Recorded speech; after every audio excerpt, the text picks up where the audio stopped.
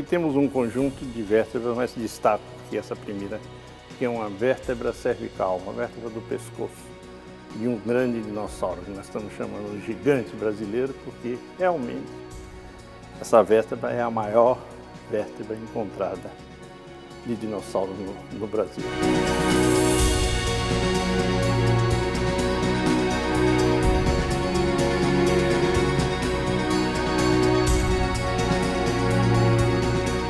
Ontem mesmo eu recebi uma amiga minha, mas Johnny, 60 anos para estudar isso? Por que? Eu disse, não.